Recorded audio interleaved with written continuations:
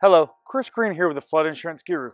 Today we're talking about the FEMA rule book and how it's impossible to understand. So we're going to go through 26 different videos and we're going to talk about each rule when it comes to the cancellation process with the National Flood Insurance Program or your FEMA policy. You know, this is something we probably get here more than anything at the Flood Insurance Guru. So we want to make sure that you understand all these rules when it comes to cancellation. You know, when can you cancel? When can you can't?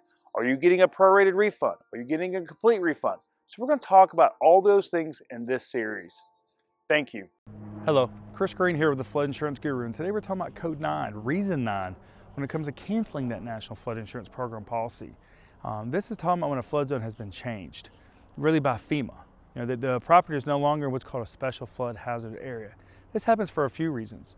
Uh, maybe after the policy is set up, FEMA does a letter of map amendment, a letter of map revision, where they come in and they change those maps from a high risk flood zone to a low risk flood zone. This is very common when these flood insurance studies are done. So, what is this process? What kind of refund are you getting? What do you have to submit?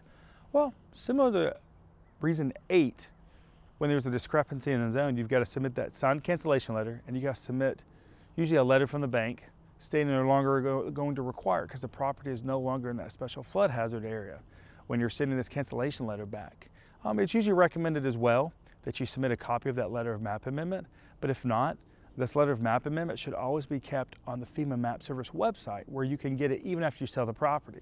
So, what about refunds? Are you getting a prorated? Are you getting a full refund? You're going to get a refund based on the date when this happens and the cancellation letter submitted.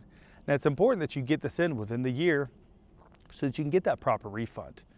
Also, if you want to try to go to sell your house where you can show this documentation where it's been removed and help with your property value.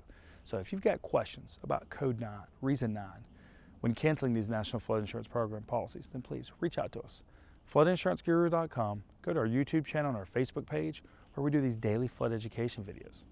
You can also give us a call, 205 451 4294. Remember, we have an educational background in flood mitigation, which means we can help you understand flood risks, like this one right here, your flood insurance, and mitigating your property long term to help you minimize flood losses and flood premiums. Thank you.